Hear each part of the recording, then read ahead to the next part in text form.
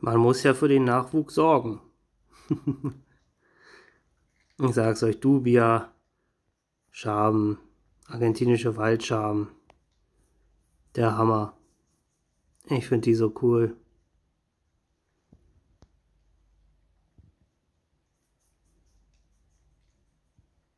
Laptica dubia heißen sie. Genau, so war das.